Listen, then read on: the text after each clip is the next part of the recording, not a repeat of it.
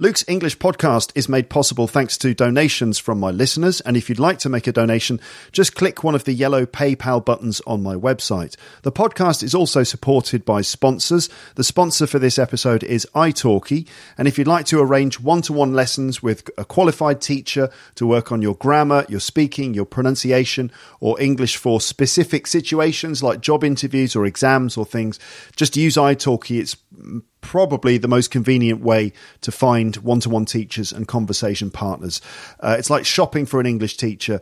Uh, they have little videos where they introduce themselves. You can see breakdowns of their qualifications and their experience, also reviews by other students who've used them. It's a really complete system. And remember, when you buy some talking time, italki will send you a voucher for a free lesson because you listen to this podcast.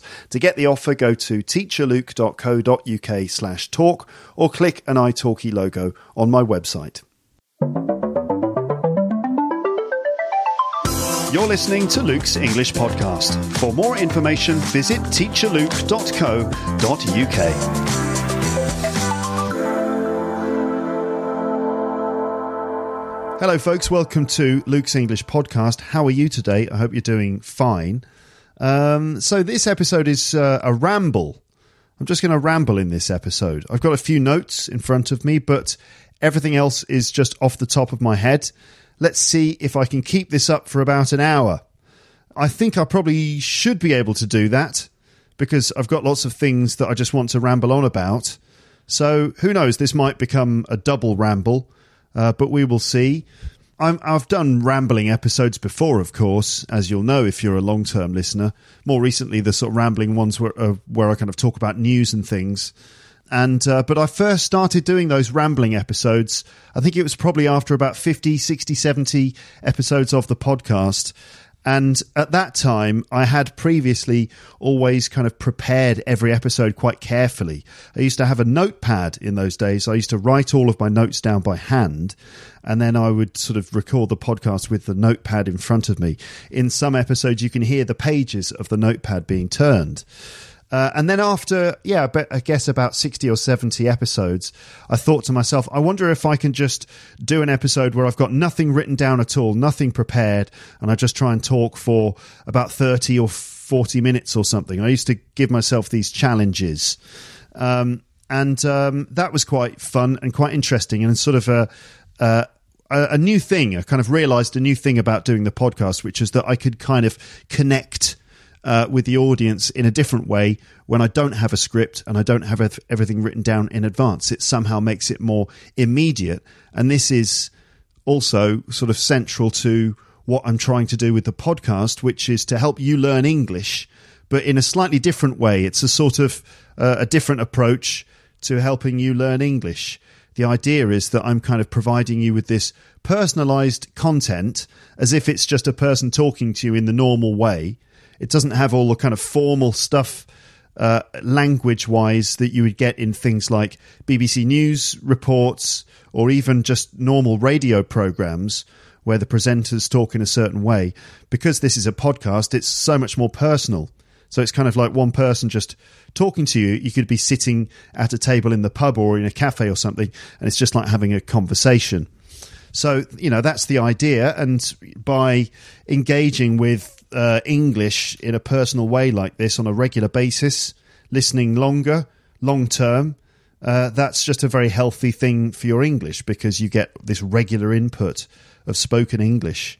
And it kind of, I mean, you know, to, to an extent, there's the idea that if you just listen to it and you're paying attention and you kind of are involved somehow in what you're hearing, that you'll acquire language as a result. But also, there's just the idea that you can notice constantly, notice bits of language, certain features, chunks of English, and things like that. And perhaps it's interesting to kind of follow the, a kind of monologue like this and just sort of notice the way the whole thing is structured together. Um, so that's the general idea. It's, it, ultimately, it's all for your English.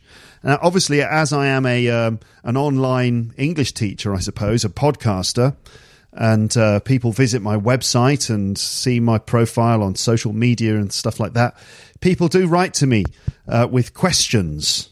And sometimes those questions are, to be honest, far too big for me to be able to answer in like one email to one person the questions are things like, How do I learn English with your podcast? I should probably do a video about it and put it on the front page of my website. But in the meantime, I would suggest to any of you out there who are sort of listening, maybe if you're new to the podcast or something and you're listening and you're thinking, how can I use this podcast to help me really learn English? Then go into the episode archive on my website, teacherluke.co.uk. Uh, just click episodes in the menu and you'll get the entire archive. And there are loads of episodes in there about how to learn English and advice about learning English, and also specific episodes in which I'm teaching grammar, vocab, pronunciation, idioms, phrasal verbs, and stuff like that. Uh, I'd probably start with episode 174 and also episode 568. Those are both specifically about how you can uh, learn English or improve your English with the podcast. But there are lots of other episodes in the archive that you could check out.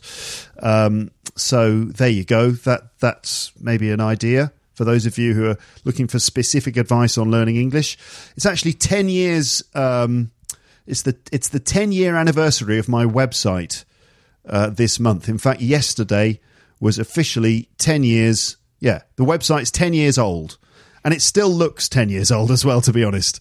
My website does still look a bit old fashioned. It looks a bit like a blog. Do you remember there was that time a few years ago when people kept kind of referring to my website as a blog?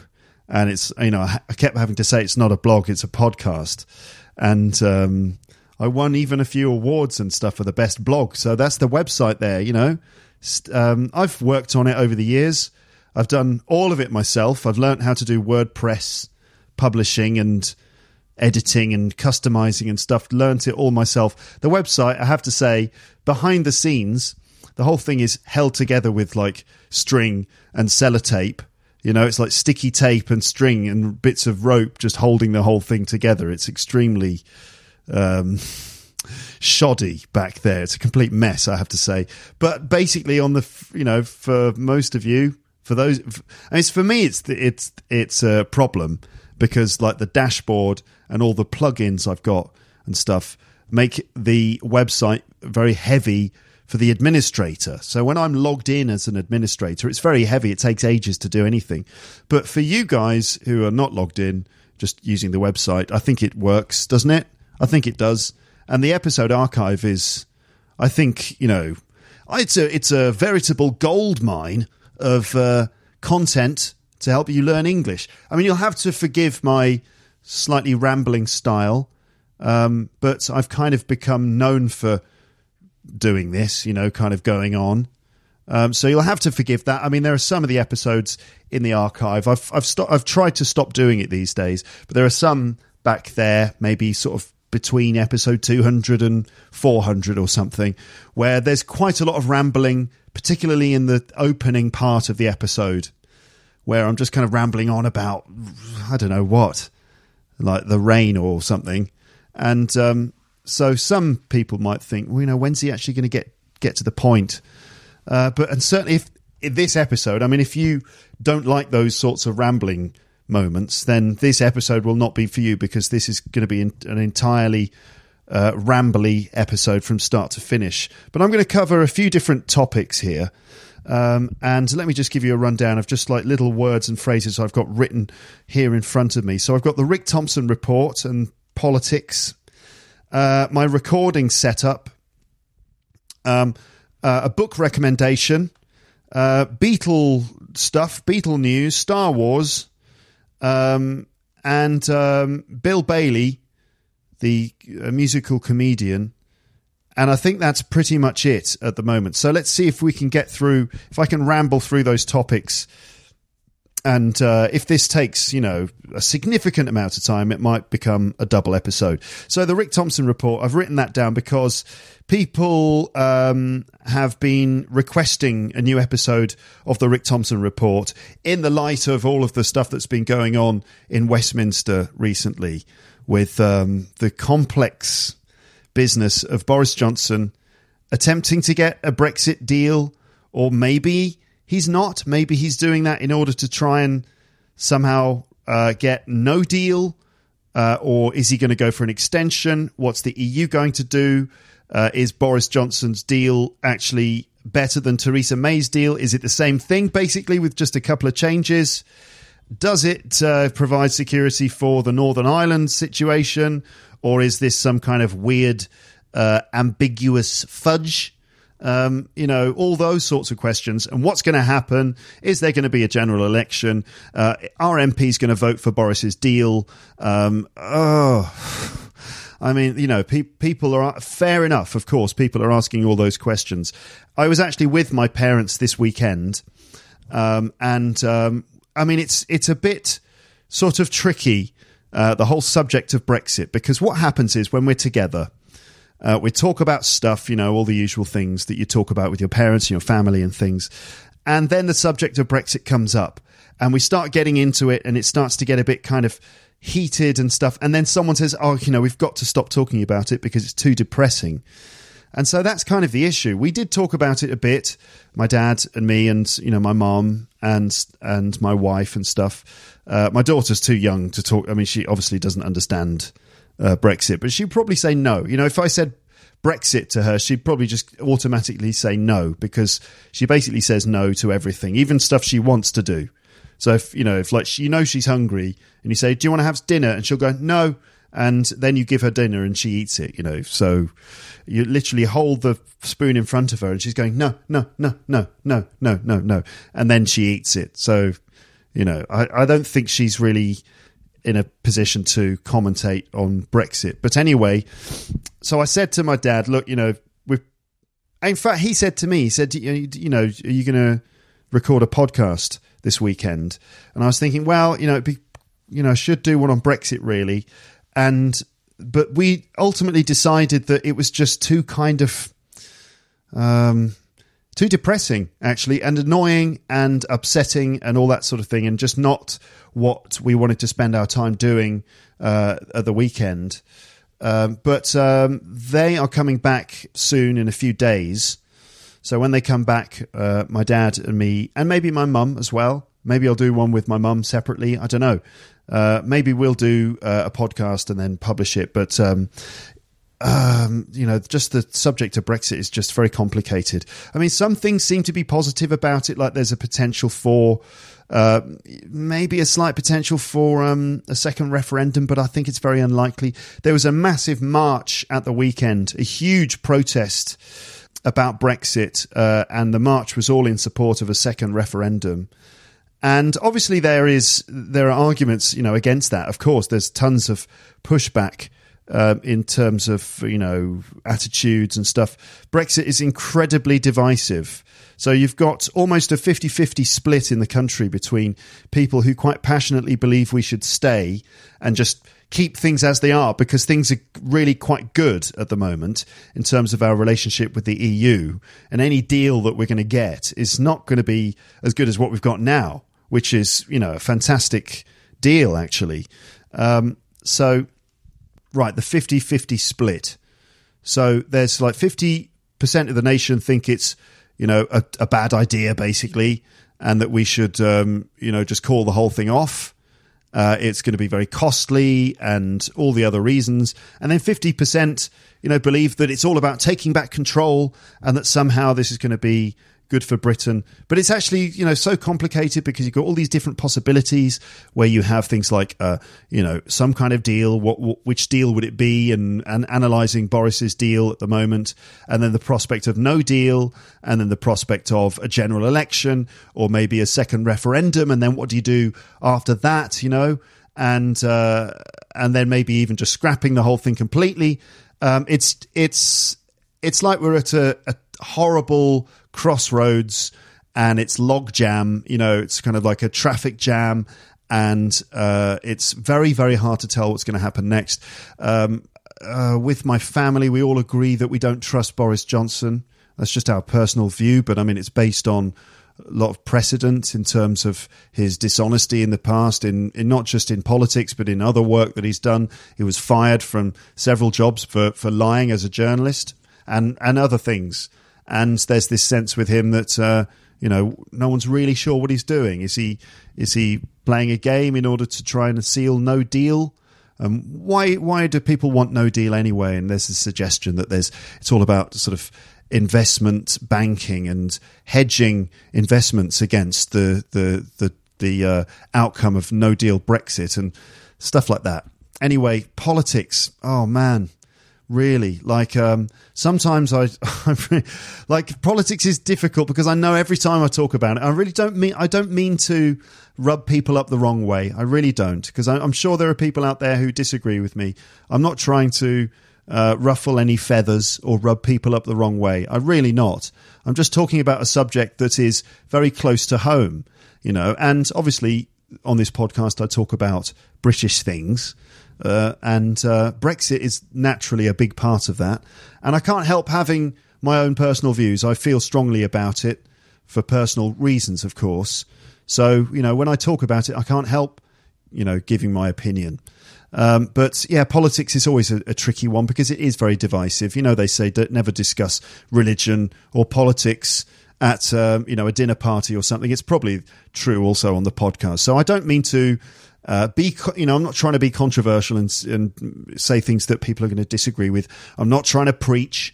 Okay, that's not what I'm doing. I'm just sort of giving my opinion. I think I'll move on from Brexit to what's next on my list. So my recording setup. Um, okay, I'll fly through this very quickly because this is probably just me self-indulgently talking about my all of my kit. But someone did write to me recently. I don't know which platform it's on because obviously I publish uh, the podcast uh, on my website. It also goes up onto YouTube, by the way. All my audio episodes now go up onto YouTube, and you can get the uh, automatic subtitles, the auto generated subtitles there, which are mostly accurate. It's actually pretty good. They're, when it's just me talking on my own, they are probably about 99% uh, accurate, which is really great.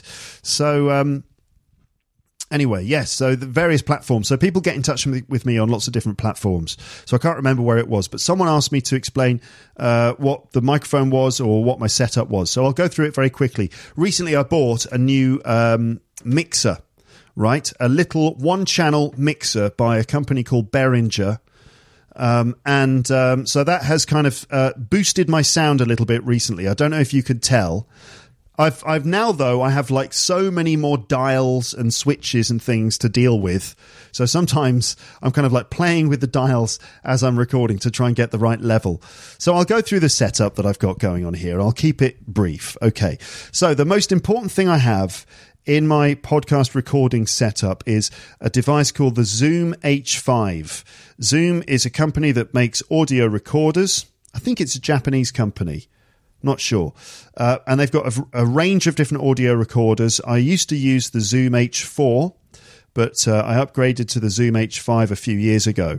And the great thing about this is that first of all, it's it records the audio in a good file format in a WAV form, so it's a high quality audio file. It records it directly onto a um, an SD card, a memory card, and that's good because um, it's very dependable. It's extremely reliable. If I was to record my uh, audio episodes live into my computer, into something like GarageBand, there's always the possibility that the software is going to crash or that something's going to happen in my computer and it's going to go wrong and I'll lose everything. So I don't like to record straight into the computer. Instead, I go into one of these audio, uh, like solid state audio recorders. I find them to be more trustworthy and also just really handy for, for doing the podcast. So this thing is just plugged into the um, elect, you know, it's just plugged into the uh, mains. So it's got its power supply from the mains. And uh, the cool thing about this is that it's got several inputs. So this in its normal settings, it's got two inputs that will accept uh, XLR cables. Those are microphone cables. They're kind of like quite fat um, plugs that go in the end with three pins. Um, the sorts of things that are used on stage with microphones. So you can connect a microphone straight into one of these things. Um, and you can also connect, in, in the case of what I'm doing now, my computer straight into it too. And it will record both of those tracks separately on two different tracks. So you end up with two files, which you can then blend together later on if you want to. And you've got volume controls for both of those tracks. So you can kind of make sure that you're not playing too loud or that you're not too quiet. You can kind of monitor the recording as you go. And that's brilliant. That's really, really useful. And so uh, going into that, I have my, I'm using an, uh, a Shure SM57 microphone uh, with the larger windscreen on top and I've found that this windscreen it's quite large and thick and it helps to deal with plosive sounds. Plosive sounds are those ones that come out when you do things like the P or B sounds when large amounts of air come flying out through your mouth. Those are plosives. And so microphones often will kind of explode. They'll go when you do a plosive sound, unless you've got something covering the microphone. Some people use a, a pop filter and uh, I like to use windscreens, just like sort of a, a, muffler that goes over the top of the microphone. The Shure SM57 is an industry standard microphone that's used um, across lots of different applications. It's used on stage for miking up people's voice. It's used for miking up different instruments, drums, guitars, and things like that. It's used in studios and most of the uh, recorded music that you've listened to will have been recorded on a Shure SM57 or maybe an SM58. They are the most standard uh, microphones for most recordings and live live broadcasting uh, on stage and in studios. Uh, it's not like a it's not a studio quality microphone for the radio. Those are usually kind of condenser microphones, large sort of ribbon condensers. Uh, this is a um, dynamic microphone, and one of the cool things about these Shure microphones, the SM57 and the SM58. How geeky is this? Very um, is that they are really tough. They're really, really solid, and you can drop them on the ground and they're absolutely fine. You could hammer a nail into a wall with one of these and it would be fine. So they're quite sturdy and good for traveling around and carrying around. So this goes actually before this SM57 goes into the uh, Zoom H5, I have something else in the in the setup in the chain. So the microphone goes into something called a cloud lifter um, yeah, it's the CL1 mic activator uh, cloud lifter, which is like a little blue box, and it just boosts the um, signal of the microphone. And actually, I use that one with my other microphone, which is the Zoom SM7B, which is a really great microphone um, with a lovely sound, but it requires a lot more power. So I use the cloud lifter to boost the power to the microphone. And it helps, you know, why is that good, Luke? Well, when your microphone is getting more power, it means that the signal is stronger, which means that there's less hiss in the background. Hiss is like ambient noise, like this kind of shh kind of sound. That's hiss. And so when your microphone's getting more power, there's basically more more signal and less hiss, which is a good thing. It, it means that you know you've got more quietness in the background, which basically makes a better recording. Um, so I'm not using the SM7B, which is a, a, wicked microphone that was used by apparently by Michael Jackson when he recorded Thriller. It was also used by David Bowie um, on his last album. So this is a, another standard microphone. You see it a lot. For example, Joe Rogan uses this one. Um, I'm not using that one because I wanted to use just a, a microphone in my hand. I wanted a, a, handheld mic, so that's why I've got the SM57. This is fascinating, isn't it? So from the um, so the mic goes into the cloud lifter, which gives it a boost, and that then goes into the mixer, which has just got a one channel on it, and it just the the cable goes straight into the mixer, and then I can control, um, for example, EQ. I can give it more treble like this. I can go really trebly, and that sounds a bit too much. This very it's like snakes. Um, so I can give it a bit more treble and also bass. I can go all the way up on the bass like this, and then I, I sound like I'm very bassy and then just bring that back there a bit. Okay. And also I've got things like compression. So compression is on max at the moment. If I remove the compression, I'm going to get quieter. So I'm much quieter now. There's no compression. What com- I'm going to move the compression back up again. And compression is the thing that makes me sound like a radio DJ. Because radio DJs use a lot of compression on their voices when they do radio uh, presentations. Um, so compression basically means that it sort of squashes the audio. Imagine the audio is like a big wave like that going up and down, a big wave. Compression takes that wave and squashes it so it's all sort of normal, normalized, I think. So it squashes, for example, the extra loud bits become a bit quieter and the quieter bits become a bit louder and it all becomes at the same kind of frequency and it's like one single band which you can then um, make louder.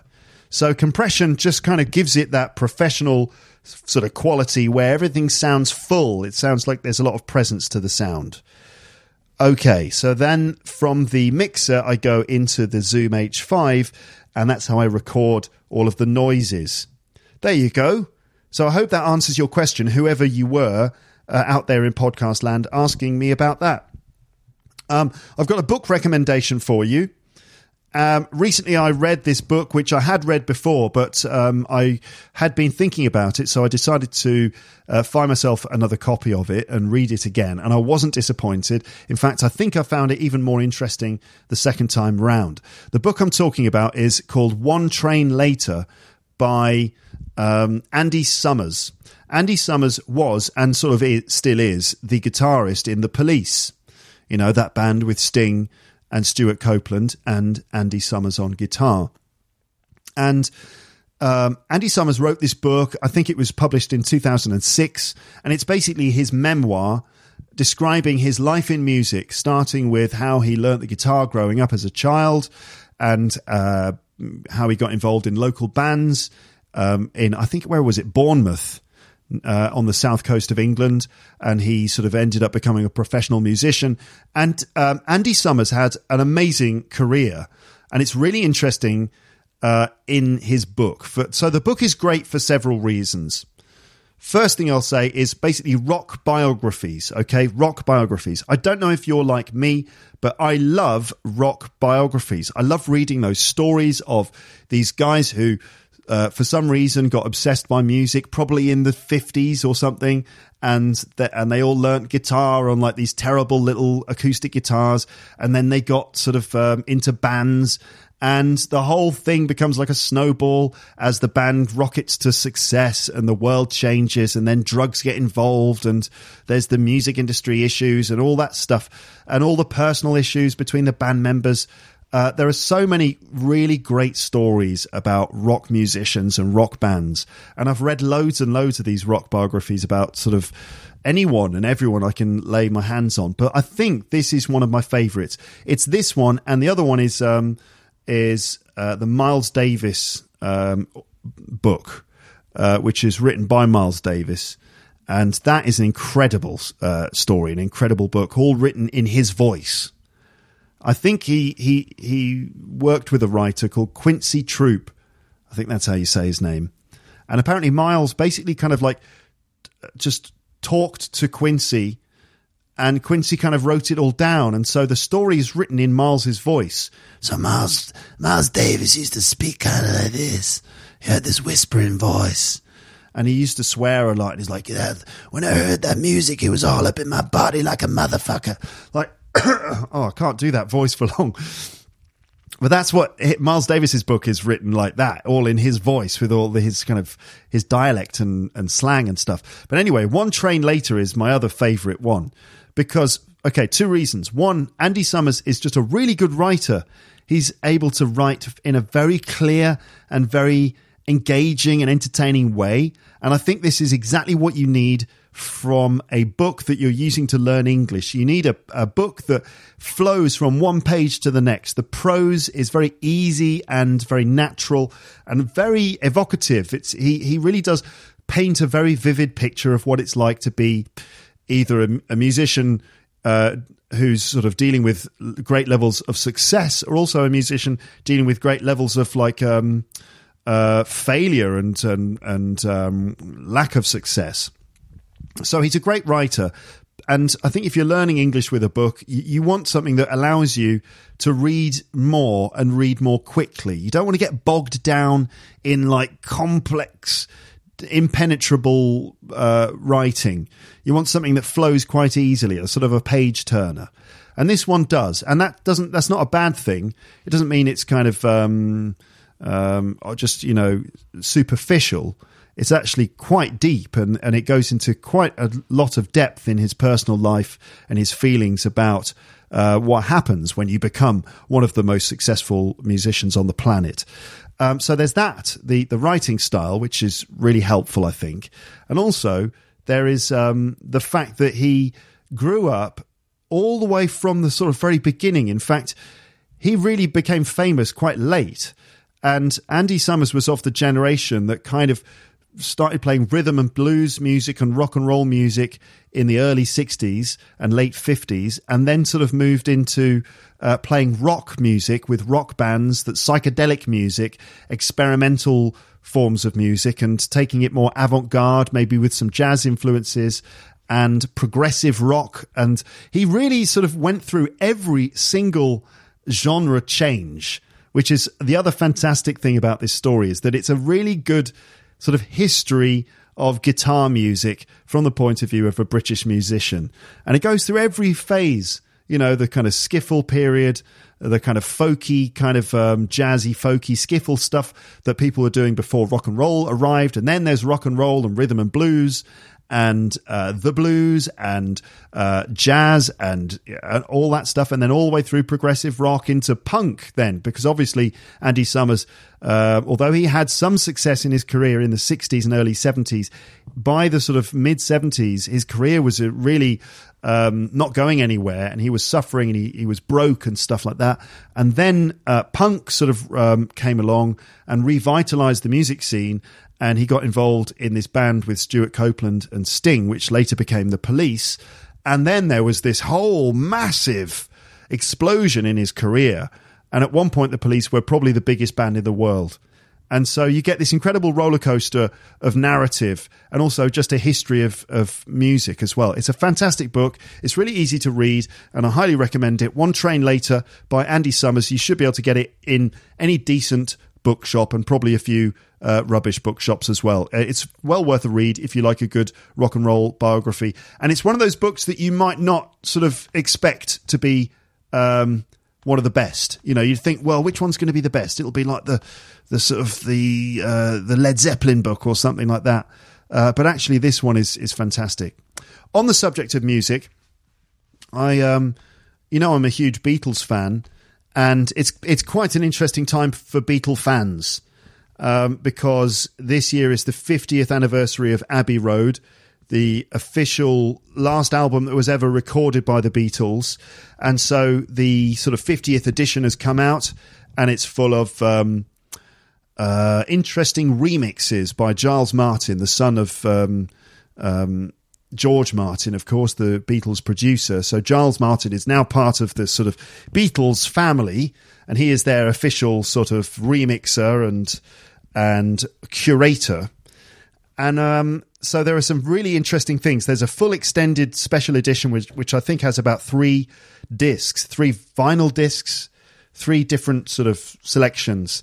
And it includes lots and lots of outtakes and interesting morsels and different sort of um, takes of songs that we've never heard before. And you, you get the chance to listen to isolated parts. It's fascinating. And also, we it seems that the the general narrative about uh, the Beatles at the end of the band's career seems to be changing a little bit for several reasons. One of them, I think, is because of a new recording that was unearthed, and it's a recording of a meeting between Paul, George, and John I think Ringo was away at the time.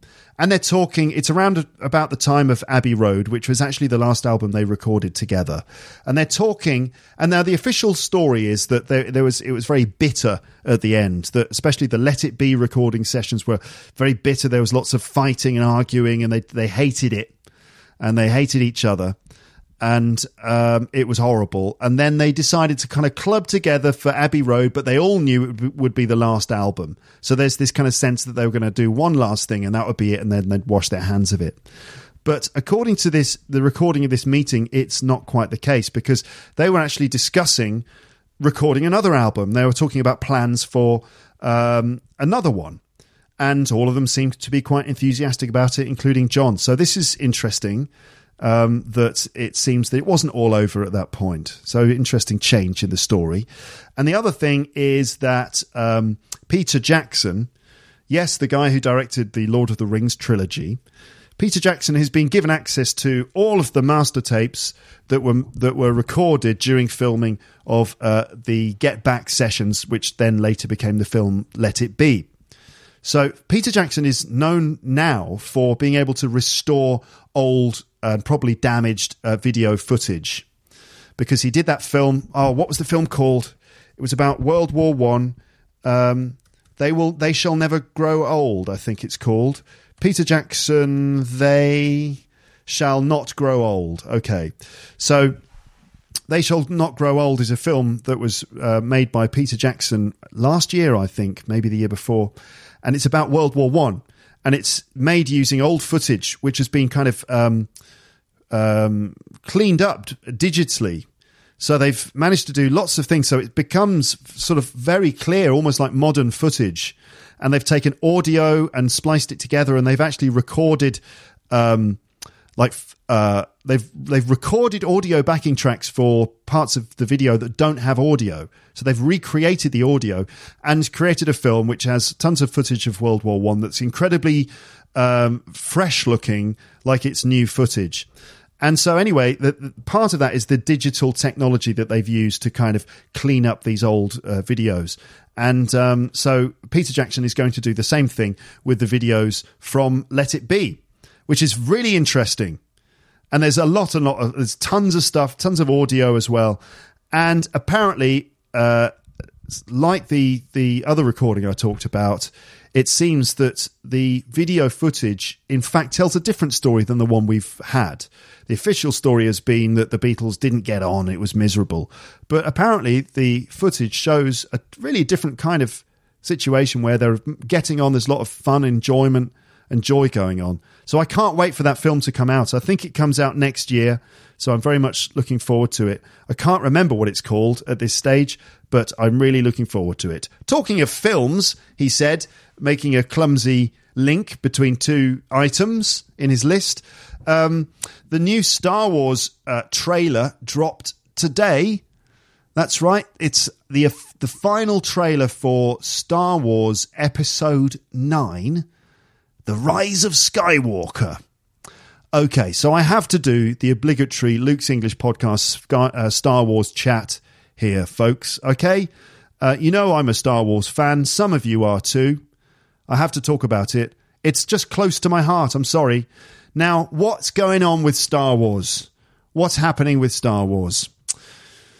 Now, okay, so I'm I like it. I just love uh, immersing myself in the world of Star Wars for an hour or two, and just the pure entertainment of it and the and the um, nostalgia value. I just get a kick out of it. I really enjoy it, and um, I liked the Last Jedi, which is not something that you hear people say very often, is it? It's not. But I admit I liked it. When I went to see it the first time, I hadn't seen any press relating to it at all. I hadn't seen any comments in any pages on the internet, no reviews. I saw it the first day it was released in France, which was two days before it got released in most other places. And I'm not saying that because I'm bragging that I got in early. I don't care about that. I'm just saying that I hadn't read anyone else's comments about it before I saw it. So I went in and at that time, my wife was pregnant. She was going to give birth to our daughter at any time. So I had my phone in my hand throughout the entire film just to check in case something happened. Um, and I was ready to just run out of the cinema because obviously I have my priorities. Okay. Um, so I, I, it was kind of a strange time. I remember watching the film, and on several occasions, uh, I was welling up, and the tears came down my cheek uh, on several occasions, and I laughed in the moments of comedy, even though they are very clumsy. Uh, you know, if you put those moments into the Star Wars canon, when you realize this is an official Star Wars film and they're making jokes like that, I can see how people got upset. I didn't mind. I don't care. I've got. I. I feel like I've got nothing to lose when it comes to Star Wars. I feel like I've had all of. I've had my cake with Star Wars. You know, it's been great and I, I just don't know if they can ever make it truly great again. But I don't care. I'm on. I'm on. I'm in for the ride. It's like a sort of. Um, it's like I'm sledging. It's like I'm sledging down a hill. I'm sitting on a sledge. You know those things that you ride in the snow. It's made of wood, and you sit on it and you slide down a hill when it's covered in snow. Sledging. I feel like I'm sledging when it comes to Star Wars. It's kind of like it's gradually going downhill, but I'm enjoying the ride. That's how I feel about it. So, Force Awakens, um, was a kind of a no- nostalgic, uh, nostalgic romp through the Star Wars universe with certain mysterious new elements, including the character Rey, who apparently is force sensitive. Oh, I'm feeling a bit force sensitive today. it's like I'm not going to come and play football. I'm feeling a bit force sensitive. Uh, she's a bit force sensitive. We don't know why. Who is she? Why is she so strong in the force? There's this emo gothic guy called Kylo Ren, who is Han Solo's son, and he's a bit of a naughty boy. He's turned to the dark side, and Luke Skywalker's disappeared. What's going on? Okay, so and it was it was basically a rehashing of the storyline from the original film if you think about it. I'm not going to go into the details, but it basically is exactly the same as A New Hope with a few other bits and pieces thrown in. And then you got The Last Jedi, which just totally divided opinion. Critics liked it, but everyone else seemed to think it was shit. Well, not everyone else. A lot of people enjoyed it, but there was a large contingent online who passionately hated it. And so there's tons of YouTube videos of people ranting against it. And I can understand, I totally can actually, now in hindsight, I can understand why they would find it annoying that throughout almost the entire film, there was basically a low speed space chase between two massive ships or fleets of ships that are going really slowly, but it's like they can't catch up with each other. So it's just like nothing's happening. They're just floating through space really slowly until eventually the big uh, evil ship manages to blow up one or two of the other ones, and then they've got a race against time, and they have to es- escape down to a planet that oh no one noticed before, and you know it's weird, bizarre storytelling, and there's that whole section in the middle where um, what's his name? Finn and Rose go off to that sort of casino planet, and there's lots of very bad CGI, and then a weird sort of horse uh, escape sequence, and it's all a bit Disney, and that's the worst part of the film. But then there are some really cool parts as well, like there's the sort of stuff where um, Rey and uh, what's his name, Kylo, uh, end up killing Snoke and having a big sort of acrobatic fight with those guys in red costumes, and one of them gets chucked into a sort of a blender, and he gets all chopped up which is pretty good. And another one gets his head chopped off, and the room catches fire, and then they have like a sort of an argument, and that's pretty cool. And also, I quite like the stuff with Luke Skywalker. I enjoyed the fact that he is kind of a cynical Jedi. That when you when you really think about the Jedi, they are responsible for creating all the Sith and for the creation of Darth Vader, and they are sort of blind and a bit arrogant and all that kind of thing, and they don't own the Force um, and that if you that, that that essentially the force is all about balance. It should be anyway. And um, you know, I kind of understand that, but still, I can understand why people didn't like it.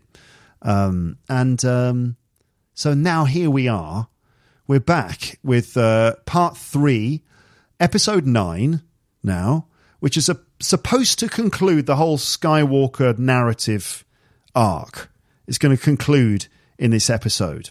So, in terms of the Skywalkers, we've got obviously Kylo Ren, who is Ben Skywalker, Ben Solo, but he is a Skywalker because his mum is Princess Leia, who apparently is still alive in this film, but I don't know how they're doing that considering Carrie Fisher uh, died um, just after the last film was released. Um, apparently, they're using old footage and somehow repurposing it.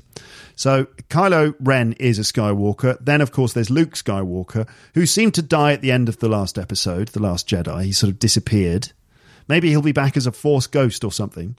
And then there is, of course, um, Anakin Skywalker, um, Darth Vader. So I don't know if we're going to see Darth Vader in the episode, but it'll be interesting to see. But the episode is called The Rise of Skywalker. So does this mean Kylo Ren is going to become a good guy in the end? He's going to become is but he's not really a Skywalker, is he? Maybe it's going to be something about Anakin. I don't know. Could it be possible for the guy, the actor who played Anakin, could he come back? That would be good. I think that would be good. Um, I don't know how they would do that though. And um, maybe Rey is a Skywalker after all. We we don't know. But the new trailer. I mean, there are I, I guess the thing we already knew was that the Emperor was back, right? Because at the, the end of the last trailer, there was like the Emperor's laughter, his cackling laughter in the background. It's like, oh my God, the Emperor is back. So, well, what's going to happen with this new Star Wars film? Is it going to be any good? Is it possible to rescue the Star Wars franchise after the sort of weird and enjoyable for me, but slightly odd, unconventional last episode? And the fact that the first episode brought up these questions that still haven't been properly answered. Um, what's his name? Who's the director? J.J. Abrams. So one good thing is that I think he's a good director. I trust him. He's able to handle large action set pieces. He's very good at sort of you know, creating a sense of mystery. But that's kind of the problem with him as well, is that he's good at setting up a, a mystery that everyone needs to solve. Like with The Force Awakens, it was like, who is Rey? Who are her parents? Who is Snoke? What's he actually doing? You know, all this stuff. There are tons of theories. He's very good at creating a mystery, just like he did with the TV series Lost, where everyone's like, puzzled and trying to work out what's going on. But he's not so good at tying up all the loose ends and sort of resolving a story in a conclusive way. Um, so that's a that's a bit of a worry. Maybe it's going to be a muddled fudge of an ending. Uh, we don't know, but um, I'm a bit concerned about that. Um, what else? So the rise of Skywalker. Which Skywalker? We don't know. the The Emperor is back. And there are various predictions about how the Emperor could come back. Maybe he is, um, maybe he's a clone because I think there is some precedent in terms of the like books or something that, or comic books that the Emperor clones himself and so he returns like that. Or maybe the Emperor somehow his uh, Force essence has been sort of kept or it's moved to another person Maybe he's able to like move his essence to another person. And there's all this stuff about Darth Plagueis who managed to avoid, he managed to cheat death or something.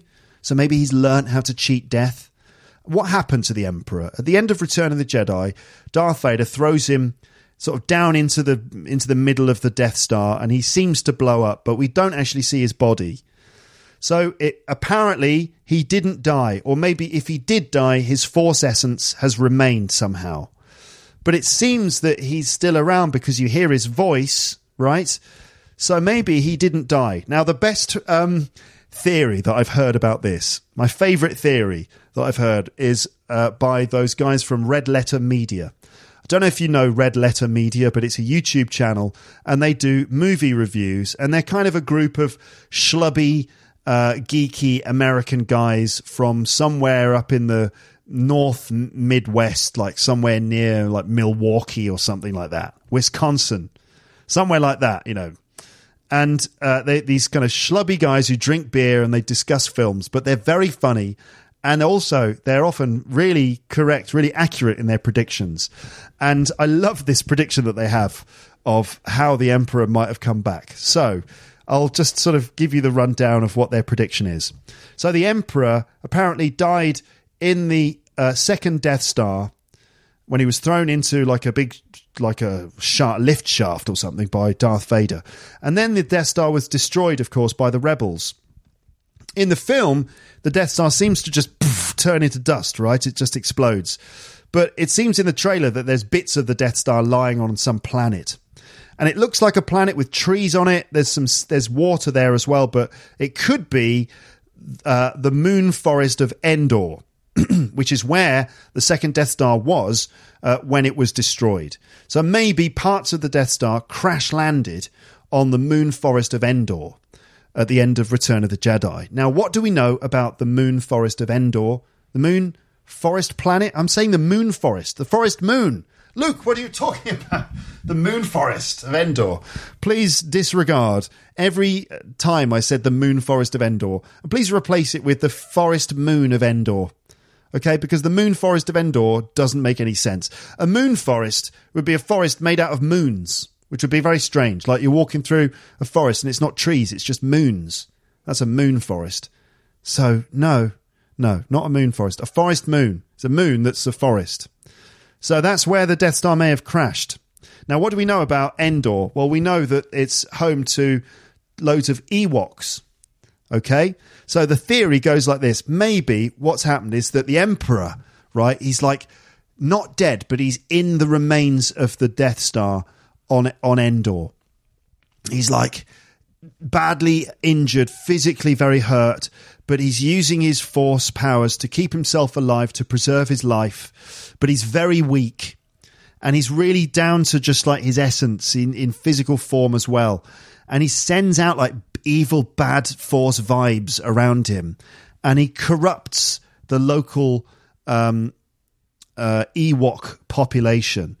And the Ewoks come to kind of uh, worship the Emperor and they build a sort of primitive throne for him in the remains of the Death Star. And they come in their droves and they worship him. You can imagine them kind of, you know, doing their kind of chanting and they're bowing and worshipping, uh, you know, the way Ewoks do. And they worship him and he kind of feeds off them he they make sacrificial offerings to him of other Ewoks, and he kind of feeds on the Ewok and Ewoks, and he also feeds on them through his force power, and they become kind of like uh, uh, they become all sort of uh, emaciated and thin and like evil and dark, and they've got like glowing red eyes, and they're all they've got like dark skin, and uh, they become evil Ewoks, and and that's how he kind of like uh, manages to to build up his power again over a forty year period, and then he comes back and he's kind of like returned to his full strength because of his Ewok like cult that that has been nurturing him back to life. I mean, they're not going to do that in the film, but oh my god, I hope they do. I think that would be amazing, don't you think? Like that could be genuinely really quite scary. It could be really creepy and scary. And, and I think it would be brilliant, but they're obviously not going to do it, which is a pity. But I've no idea what they're going to do. I mean, the Emperor's back, and so what? I mean, I mean, does it feel a bit like desperate sort of storytelling? Like, come on, you just bring back the Emperor, bring, let's try and get this thing back on track. Um, I mean, obviously, I'm excited and I can't wait to see what happens. And as I said before, I feel like I've got nothing to lose. And so, uh, if if if it's an absolute turkey, I, obviously I'll be disappointed. If it's completely terrible, I will be disappointed. But you know, I'm I'm looking forward to exploring the final chapter in this particular Star Wars story and I I just really hope that um, uh, J.J. Abrams doesn't spoil it. Um, what did I? I saw something on. I think it was on Twitter or YouTube. Someone wrote a funny comment, um, and the comment goes like this: "The Force Awakens, The Last Jedi, The Rise of Skywalker." Seems like a barely cobbled together sentence about Luke getting out of bed sounds like Luke getting out of bed. The Force Awakens, The Last Jedi, The Rise of Skywalker. It does sound like Luke Skywalker getting out of bed, doesn't it? Um, all right, moving on. I've been rambling for nearly an hour now, and I've just got like a couple of other things to do at the end here. Okay, I think this is going to be one episode. How are you, ladies and gents? Are you enjoying this ramble? I know it's been very specific. I've gone through sort of topics that ooh, I'd be lucky if I if I captured everyone's um, attention and agreement all the way through this episode. I feel like it's a minefield. Brexit and politics. Oh dear. Talking about technical microphones and things, you're going to lose some people with that one. The rock music biography and the Beatles sort of geeky re-release of one of their albums, and then Star Wars. Luke. Well, those of you who are still here, I'm glad that you are still here, ladies and gents, and I love you for continuing to listen through my uh, inane ramblings. And, um, you know, if you want content from me that is more to the point and succinct, then you could consider becoming a premium subscriber. I've recently started doing a series of uh, little pronunciation videos, which are just a few minutes long. And it's basically just a few sentences from previous pronunciation drill sections of previous premium episodes um, five six or seven sentences drilled with attention to connected speech weak forms sentence stress intonation and how to say the sentences just like me. Um, and so that's fun and i'm still doing those. There'll be another one of those coming this week. Um, that'll be the third one so you can get that by going to uh, teacherluke.co.uk slash premium. And finally, I wanted to play some clips from this video which I discovered uh, yesterday. I think it's a new video. This is a video of Bill Bailey, who I've talked about several times on this podcast. I did a whole episode about him. Was it one or two? Maybe it was two parts. I can't remember. Um, I think it was two parts. Uh, he's a stand up comedian who specializes in using music in his comedy. And he's an excellent musician. He plays piano, guitar, all sorts of instruments. And he likes to deconstruct music. And I found this video on. Hold on. okay, it's on um, Classic FM. Classic FM is a, a radio station that you can find uh, in the UK and probably online, and they play classical music. And in this one, they interviewed Bill Bailey. They gave him 10 random questions uh, and Bill chooses to answer the questions through music. So it's 10 random questions answered through music with Bill Bailey. And this is really interesting for me for several reasons. One, it's just really funny. And two, it's very insightful about music. And third, thirdly, there's lots of nice vocab in here. So um, I'm going to go through some little parts of this video with you before we end the episode. So I think we're going to start with the most beautiful melody so the question is, um, what is the most beautiful melody? And let's just see how Bill answers this question with the use of his piano. No, it's beautiful melody. It's difficult, isn't it? Um, I, I, did for a while think uh, that it's you know oh mio babbino caro, you know the Puccini uh, aria, you know like. Uh,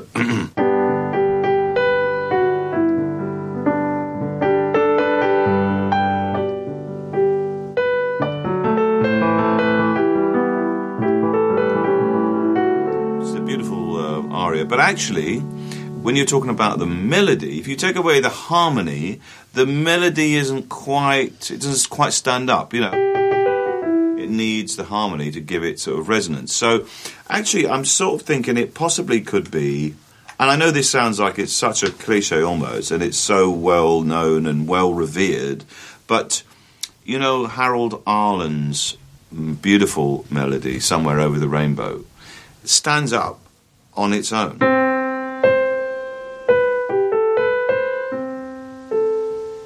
You know, straight away.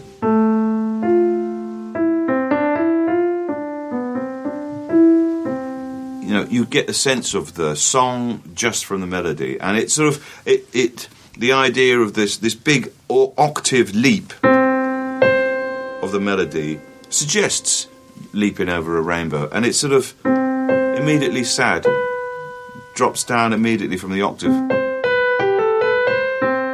there's another little leap there, sort of, and it gradually comes down the whole octave.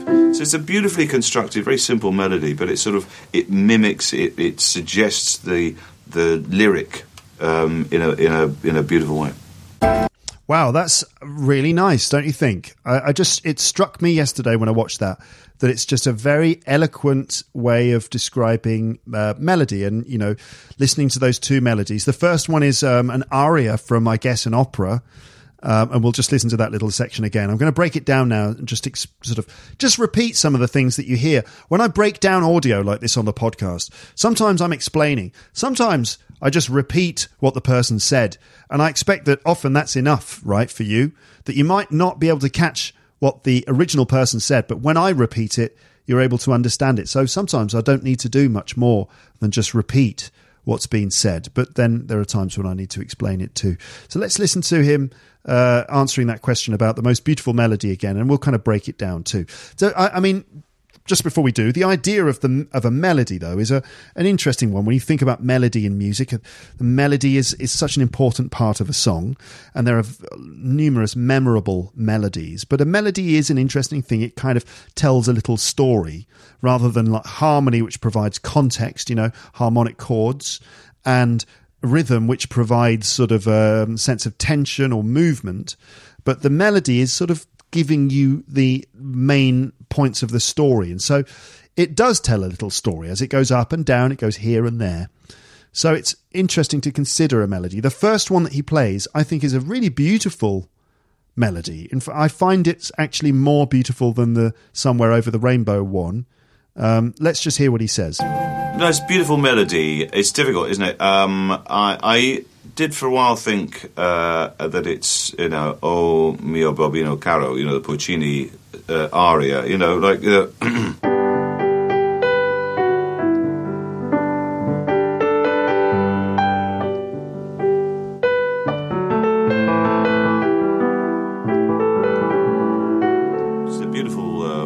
But actually, when you're talking about the melody, if you take away the harmony, the melody isn't quite, it doesn't quite stand up, you know. The melody doesn't doesn't quite stand up. It's Quite an interesting turn of phrase. If something stands up, it means it kind of it can rest on its own. Doesn't need other things to support it. Now, in this case, he's talking about a melody that doesn't quite stand up on its own. But we also use the expression to talk about things that uh, are not really believable. So it doesn't really stand up as evidence, you might say, meaning it's it doesn't really it won't function as evidence.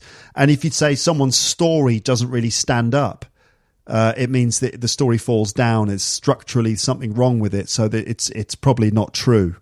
So anyway, the the melody need, uh, needs the harmony. It doesn't really stand up on its own. needs the harmony to give it sort of resonance. So actually, I'm sort of thinking it possibly could be Actually, I'm sort of thinking it possibly could be. That's quite a nice sentence, isn't it? It's not really a sentence, but um, I mean, if you're looking for phrases that we use when we're trying to think, there you go. harmony to give it sort of resonance. So actually, I'm sort of thinking it possibly could be. And I know this sounds like it's such a cliche almost, and I know this sounds like it's such a cliche. Cliche, obviously, something that's been done so many times is unoriginal. It's so well known and well revered. It's so well known and well revered. If something is revered, it means that, like, you know, people consider it to be really great. They have very high opinions of it. He's talking about Somewhere Over the Rainbow. It's kind of a cliche, but it is very well revered. But you know, Harold Arlen's beautiful melody, Somewhere Over the Rainbow, stands up on its own.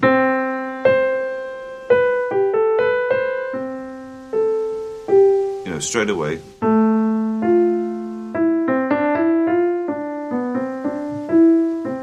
You know, you get the sense of the song just from the melody, and it's sort of it. it the idea of this this big octave leap So a leap is basically a big jump. Okay, if you can imagine sort of leaping over a huge puddle on the ground, you'd have to leap forwards. So we're talking about the octave leap, the doon doon. It leaps all the way up an octave.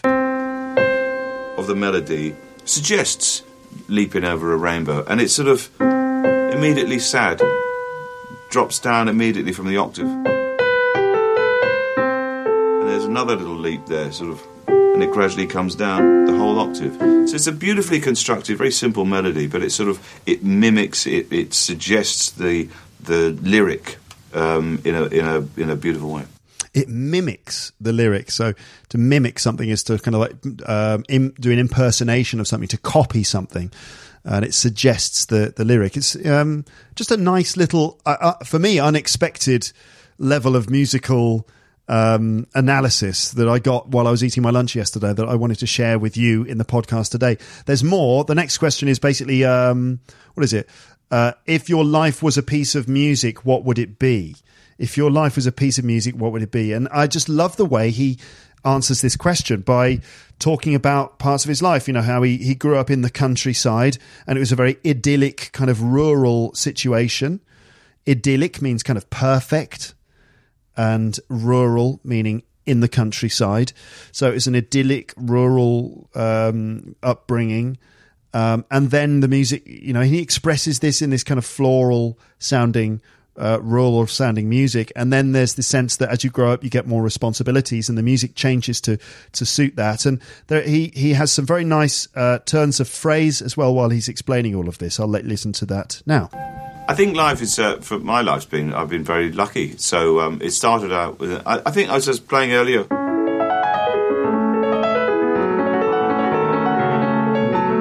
You know Debussy's uh, L'Arabesque, and I think that's because it started with this sort of beautiful kind of like a um, rural idyll that I lived in. I grew up in the countryside, and it was uh, sort of worry free and um, sort of you know carefree. And I uh, I grew up in lovely fields and the countryside. And then there's sort sort of like there's that moment in it which is a bit more serious, and that's when life takes on a little bit more.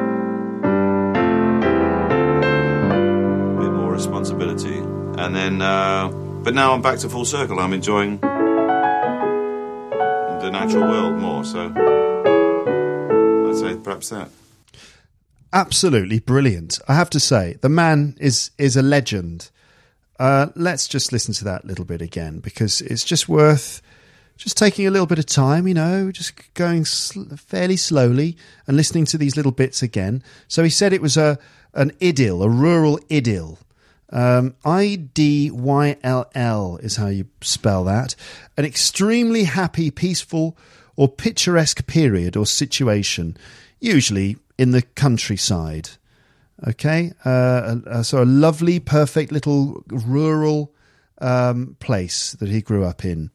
Um, I think life is uh, for my life's been I've been very lucky. So um, it started out with I, I think I was just playing earlier. It started out with, and then he says, I think as I was playing earlier, and then he quickly runs through a bit of Debussy, I think that he was playing earlier. He plays it fairly quickly because he's he's not really performing it. He's just more sort of, you know, just bringing it up.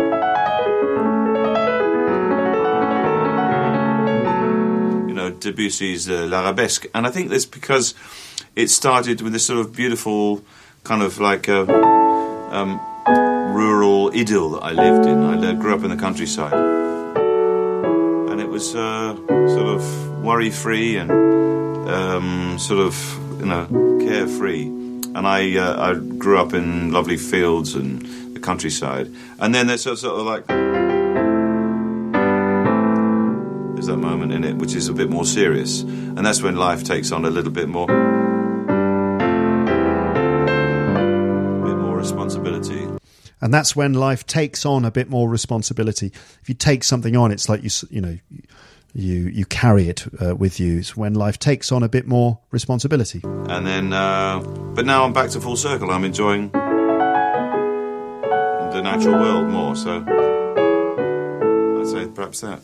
I think that's just beautiful. I think just the two themes, um, the the rural one and then the more serious one, and then back to the rural rural one. It just seems to be like a lovely little story. And that rural music reminds me of the Legend of Zelda. Actually, The natural world more. So I'd say perhaps that. um, now my favourite one that he does is uh, answering the question, "What is the sound of London?" Right? What does London sound like? I'm just yeah, here it is. What is the sound of London? Okay, now this is brilliant because it does showcase Bill Bailey's talent, and he's got it spot on. I think. So imagine London, right? I don't know if you know the city, if you've been there, if you've lived there and worked there, but just think of London. What music for you defines London? Now, how would you? What is the sound of London? Some of you will be thinking it's all kind of like pompous, like old fashioned, maybe like a royal national anthem, pom pom, you know, like kind of, uh, duh, you know, like God Save the Queen, duh, duh, duh, duh, duh, duh, that kind of thing is probably what some of you are thinking of. But don't forget that London is not just the tourist place that you know it as, that London is a, uh, the beating heart of London is probably in the city where there's people doing business and there's also a thriving arts scene and you know lots of artists and commentators, journalists, writers and um, just everything industry and it's a very vibrant place. So how would you um, put that into music? Well, let's listen to how Bill Bailey does it. We'll listen once and then we'll probably break it down again. And then I expect that will be the end of the episode. Okay, so what is the sound of London? Sound of London. Well, London is is always moving. It's restless, you know. It's got kind of pulse to it, um, and uh,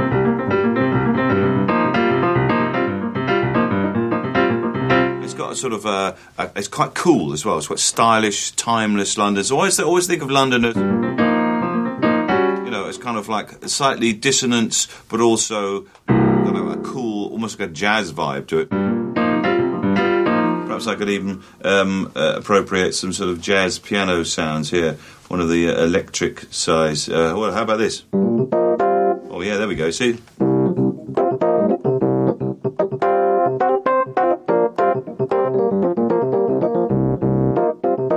course, it's a bit innovative, so of course, you know, sometimes you get something.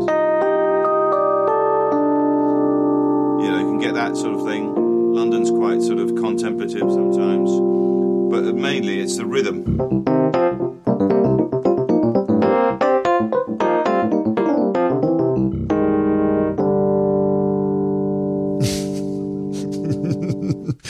Um, he does a funny face at the end when it kind of changes and goes serious. Again, that's just brilliant. I, I've I've never heard anything like it. I have to say, someone interpreting the sound of London in such a way, and and it makes total sense to me. It is kind of hip and cool and quite serious and a bit avant garde and all these things, you know. So it do, it's it's right that he's got that kind of avant garde jazz sort of thing going on, and then that other weird uh, those strange chords, ambient sounding stuff, which is it kind of makes you think of the contemplative side of the city. Just wonderful and some nice vocab. Let's go through that again.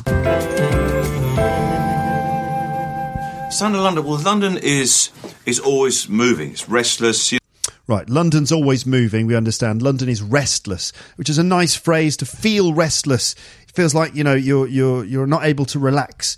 You kind of uh, you got a bit too much energy, right? So if you imagine like lying in bed with someone who's restless, they might be kind of tossing and turning in bed, moving around and stuff, and being generally restless. London is a restless place, always moving. There's always this hum, this kind of sound of like just London moving and doing things, um, and yeah, so London's always moving. It's restless. you know, it's got a kind of pulse to it.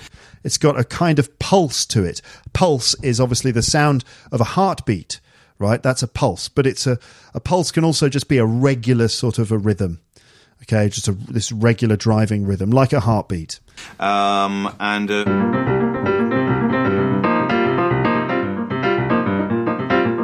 it's got a sort of a, a. It's quite cool as well. It's quite stylish, timeless London. So always, always think of London as It's cool. It's it's stylish. It's uh, timeless. He said, right?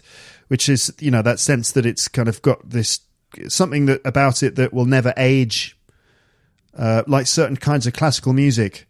Or arguably, you know, maybe the Beatles is timeless because, I mean, Abbey Road came out again this year and it immediately went to number one. So the appeal of the Beatles appears to be timeless. But London is, yeah, it's kind of cool and timeless. You know, it's kind of like a slightly dissonance. dissonance uh, is um, basically when uh, like notes are played together that don't really go together. So it's like a lack of harmony. It's the opposite of harmony. And sometimes dissonance can be used in music to create a sort of edgy feeling or exactly a sense of dissonance of things crashing together and, and stuff, like he says. Think of London as you know, it's kind of like slightly dissonance, but also I don't know, a cool, almost like a jazz vibe to it. Perhaps I could even um, uh, appropriate some sort of jazz piano sounds here. uh, to appropriate something is to basically kind of take it and use it for yourself. So he's just reprogramming his, his keyboard to get some of those uh, cheesy uh, electric piano sounds. It's something like a Rhodes piano simulator. Yeah, one of the uh, electric size. Uh, well, how about this? Oh yeah, there we go. See, and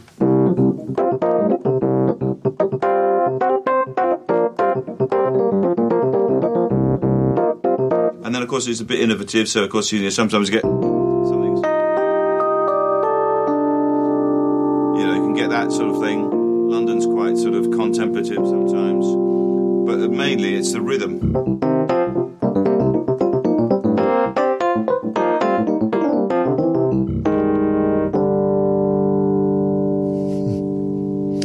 Okay, so ladies and gents, uh, thank you for joining me on this mega ramble that I've been doing for the last hour and twenty minutes. It's been enjoyable. It's been emotional.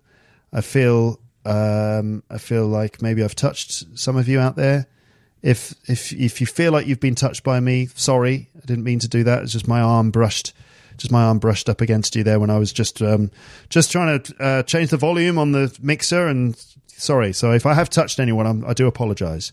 Okay, uh, an official apology um, is in order. I'm sorry. Okay, don't roast me on Twitter or whatever it is that you people do these days. Um, so thank you again for listening. Uh, if you'd like to get uh, more content from me, then you could sign up to LEP Premium. It's really simple. teacherluke.co.uk slash premium. Sign up and you'll get access to all of the premium content, including those pronunciation videos and all the other normal premium episodes I'm doing. Premium Series 17 is coming uh, this week, I expect. So if you want to get it, just get it. It's easy, simple. It's about the price of about a coffee a month from you to me, which is not a lot. And there's tons of stuff in there now. I've got loads of episodes. I think it's more than 50. I think. Yeah, I think you'll find. I can't even remember. It's maybe even 60. Um, spread out across about 16 series of episodes with loads of good stuff. I'm not going to talk about it anymore. Thank you for listening, folks. You're wonderful, wonderful, wonderful people. And I hope you have a lovely day or morning or night or evening, uh, um, whatever it is you're doing, wherever you are in the world.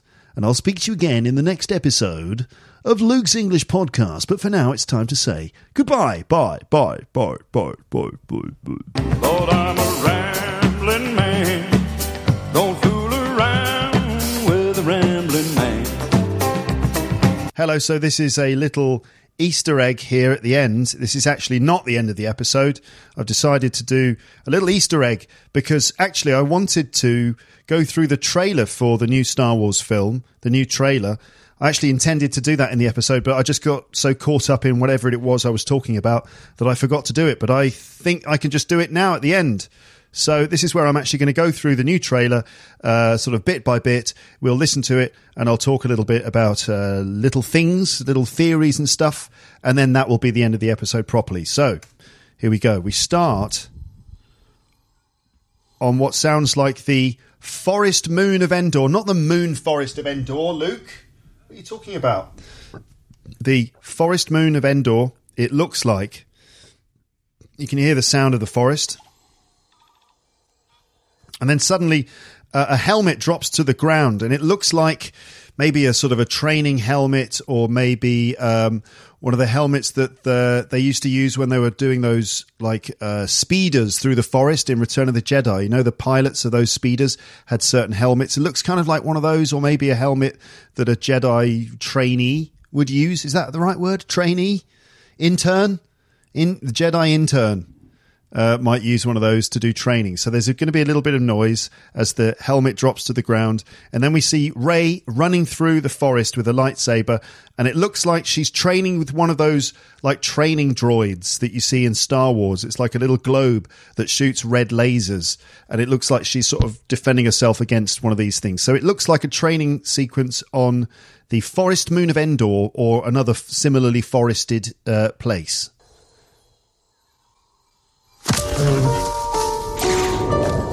It's an instinct. It's an instinct. Now, I wasn't sure who this was at the beginning saying it's an instinct, but I think it's Poe, and he think I think he's talking about his friendship with Rey. So we see Rey sort of jumping during what could be training on a forest planet somewhere, and then it cuts to her jumping inside the remains of some kind of uh, spaceship.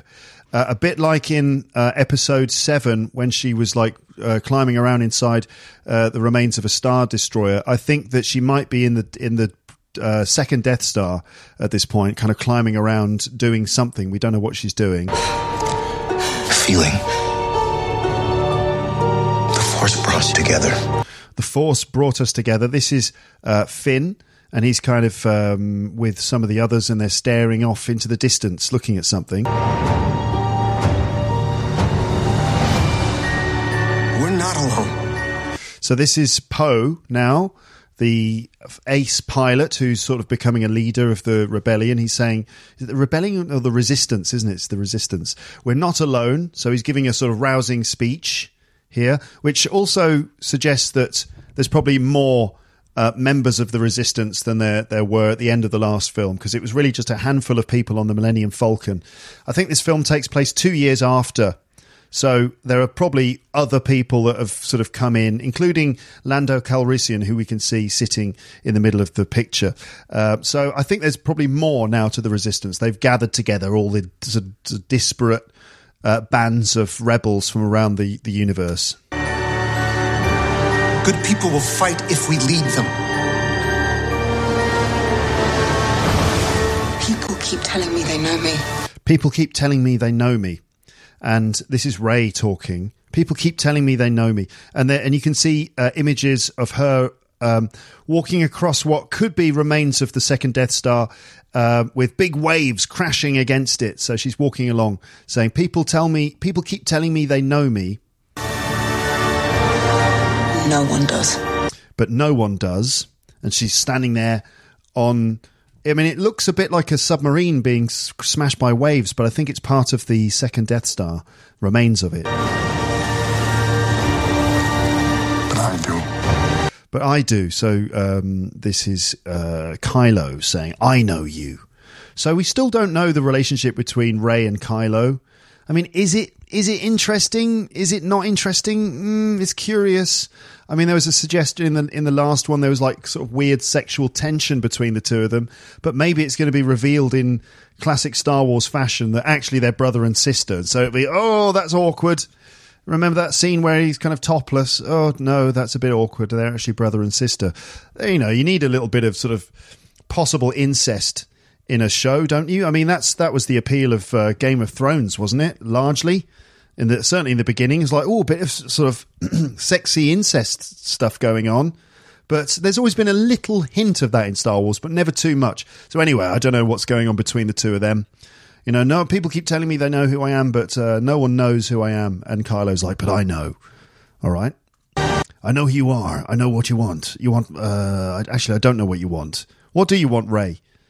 What does Rey really want? She just wants to defeat the bad guys and learn who she is. Okay, let's let's. Good luck with that. There's Kylo Ren looking pretty cool. He looks like a, uh, a samurai or something. And then we have footage of like loads of TIE fighters flying through what looks like a frozen place. And then a picture of a big throne. And this looks like maybe the Emperor's new throne. I don't think the, the thing about the Ewoks I was talking about, I don't think that's going to come true, unfortunately. But there's there's a big throne. Could be the Emperor's throne. Long have I waited. Long have I waited. So there you go. You see the Emperor using uh, an inversion, right? Long, long have I waited. You see, the Emperor's very strong in the Force. I mean, I think he's much stronger than Yoda because, you know, as we know, Yoda, it's not that strong because you can't lift the verb into the middle of the sentence. But um, the Emperor's kind of uh, doing all sorts of uh, clever sentence structure here and, and using the old, uh, you know, inversion there. Long have I waited. Long have I waited. I can't really do the Emperor. Long have I waited. Can't do it. The only line of the Emperor's that I can do is when he, I think, I'm not sure he says this, but he says something like this. He says, Oh, I think you'll find this battle station is fully operational. He says something like that in Return of the Jedi. You know, he kind of starts like this.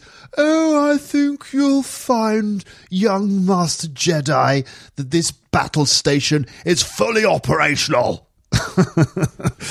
you know, going from this kind of thing to this sort of thing. Um, I might try and use that sometimes at work, maybe. You know, if someone doesn't do their homework. Oh, I think you'll find that you'll be doing your homework all weekend. I don't know how that would go down. But anyway, uh, what is it? Long have I waited. Long have I waited. Long have I waited. It's like that, isn't it? Waited. Long have I waited. That's how the Emperor speaks. Long have I waited for this moment. It's sort of like this, isn't it? It's like his tongue is stuck to the bottom of his mouth and he can't move it. My tongue is stuck to the bottom of my mouth, and I can't move it. That's how you do an Emperor impression. Stick the tongue to the bottom of your mouth. Stick your tongue to the bottom of your mouth. Mouth.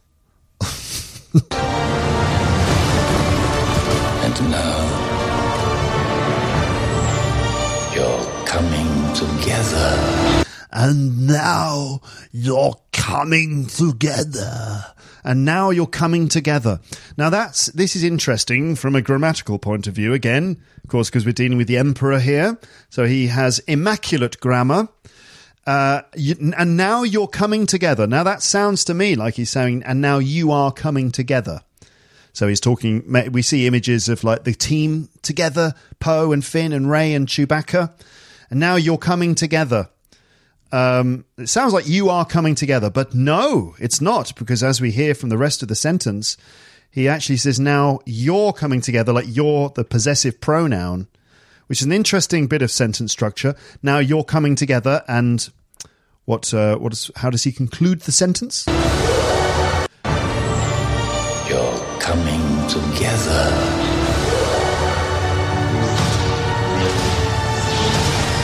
Is your undoing. Your coming together is your undoing. Your coming together is your undoing. So it's the possessive pronoun you, your. And you can do that. You can do a possessive pronoun plus an ing, right? Um, and uh, that becomes a sort of a, like a noun. Sorry for my asking, uh, you know, like sorry for my interrupting, but do you have blah, blah, blah, you know? Uh, I hope you don't mind my asking, you see. So it's like, I hope you don't mind something, and that something can be my doing something. I hope you don't mind my smoking in the office, as the emperor might say. You know, I, I hope you don't mind my smoking in the office. Uh, no, no, go ahead. That's go right ahead. Uh, please be my guest. You know. Um, so, yes, there you go. So, um, your coming together will be your end. Now, who's coming together? Does he mean the coming together of the team of Rey and uh, Finn and Poe and uh, Laa-Laa and Tinky Winky and uh, oh no, that that's the Teletubbies, isn't it? Sorry, um, but uh, you know who? Or does he mean Rey and Kylo? Because maybe Rey and Kylo are going to team up to try and defeat the Emperor. I've no idea what's going to happen, and I can't wait to find out. What, uh, what are you doing there, 3PO? What are you doing? Uh, uh naturalistic, uh, naturalistic dialogue. Uh, uh, naturalistic delivery of uh, naturalistic dialogue. Uh, that's how you do naturalistic dialogue. You just do uh, kind of just like you're kind of giving away the lines just without really thinking about it. You know, just naturally. I suppose. I guess I'm just going to make a cup of tea if uh, anyone wants some. What are you What you doing there, three PO? So, uh, what you doing there? That's how you do naturalistic dialogue. What, uh, what are you doing there, 3PO? Taking one last look, sir, at my friends. Ooh. What you, uh, so uh, what you doing there, 3PO? Taking one last look, sir, at my friends. So what's going to happen to 3PO? Are, are we going to sacrifice 3PO uh, or something? Or maybe 3PO is just extremely pessimistic before the mission that they're about to go on. And he's like, what are you doing? Oh, I'm just going to take, I'm just taking la- one last look at my friends because you're all going to die. Um, maybe he's being very pessimistic, or maybe 3PO is going to somehow be um, sacrificed here. Now, they've kind of hooked him up. They've like attached an Ethernet cable to the back of his head or something. They've hooked him up to the Matrix. Maybe what they're going to do is somehow use C3PO's memory, memory banks, in order to like locate the Emperor or something like that. I don't know, but they're going to use 3PO because he's been there sort of from the start. He was there with Anakin, obviously in episode one, and then he's followed all of this all the way through the whole thing. Him and R- R2D2 as well. So maybe he's got like uh, memory banks and stuff. Maybe he's seen things they need to access. So, and maybe that's going to destroy his memory in the process. We don't know, but can't they just can't they just back him up to a to like an external hard drive and then do that? They don't have to wipe his memory, do they? Uh, This Christmas. So there was like awesome looking sequence there of um, like our heroes running through what looks like a big battle station or something and shooting loads of stormtroopers. It's like real Star Wars nostalgia in overdrive. Like a, a corridor that looks exactly like something out of um, uh, the Death Star from the original Star Wars, and you've got Chewbacca and Poe and Tinky Winky and Laa-Laa and the other Teletubbies running through the um, the this set with like stormtroopers falling on the floor. It's classic Star Wars, and then we see Princess Leia. I don't know, as I said before, somehow they're going to fit her into the film with old footage, but uh, she's there hugging Rey. Confronting fear is the destiny of a Jedi. And that's Luke Skywalker with new dialogue. Confronting fear is the destiny of a Jedi. Confronting fear is the destiny of a Jedi. So I get um, what's this? Is this Luke Skywalker as a Force ghost giving giving Rey a kind of a motivational pep talk? You know, like I know that you're really scared. I know that it's the Emperor and he's like the most powerful. You know, he does that lightning thing. Ah, and it's really horrible. And he sort of speaks like this. You know, it's he's horrible. So you must be absolutely filling your trousers on this one, Rey. So, but just remember that uh, confronting fear is the destiny of a Jedi, which basically means you, you've got no choice. You've got to do it, or we will cut your legs off with a lightsaber. Because that's you know it's the thing about being a Jedi. You can't just leave. You, you can't. You know, we're not just going to let you leave. You have to face uh, the Emperor. Sorry,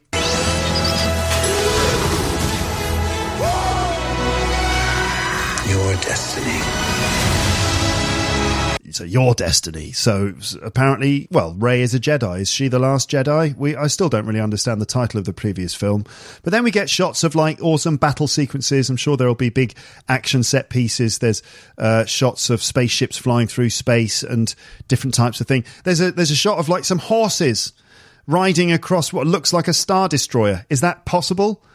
They, are they on the top of a star destroyer, a big load of horses? I mean, this is a Disney production, so obviously they've got to try and get some horseback riding in there somehow. Maybe there's a princess, another princess involved in this. Uh, we don't know yet, but uh, horses, okay. I mean, that's uh, for those people who didn't like the horse-based sequence in the previous film. They will not be happy to see the reappearance of of some sort of equine element uh, in this film. Um, what else is going to happen? The saga will end. It says. I can't wait to see what happens. How are they going to end this? What kind of botched job are they going to do on this? Uh, I can't wait.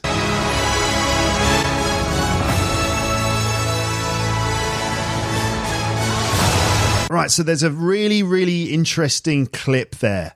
So we see Rey and Kylo in this weird white room. It looks like nothing we've ever seen before. Maybe something from the original Death Star, but it's all white and super Star Warsy in its design. But it's all white. Normally they're kind of grey, aren't they? Uh, those Imperial spaceships. And they appear to be maybe having a lightsaber fight in this environment. Rey is in her normal gear. Kylo is in his normal stuff, but he's got his helmet on. This is the helmet that he's repaired. I don't know why he didn't just get a new helmet, but he's repaired this one after he smashed it in the last film. And they're, they're maybe fighting or something. And then there's this, what looks like a big sort of statue made of black glass or something and it's you don't see it very very long. It's a very quick clip. And it could be like Darth Vader, like a statue of Darth Vader or something, but it quickly gets smashed by their lightsabers. I think either they both smash it or that they're fighting and they smash it by accident. And maybe what this is, is it's a sort of a statue, maybe holding uh, Darth Vader's helmet. Because remember, Kylo Ren had Vader's helmet and he was worshipping it and he had it on like a little bed of stones. It was quite a nice little stone garden he'd built for it. Maybe now it's on this kind of glass plinth, but it seems to be that the uh, maybe Vader's helmet is is involved here again somehow, and it gets broken, maybe um, smashed or something. Maybe what's got happened with the Emperor is that he maybe he transformed he he, he transferred his uh, force essence to Vader's helmet because you remember when Vader throws him over the balcony uh, you see his skull kind of full of elec full of electricity and stuff. Maybe uh, the emperor's force spirit went into the helmet. And so that's the kind of driving force the evil force that's been sort of pushing all of this forwards. We don't know. So maybe the helmet's going to make a recurrence.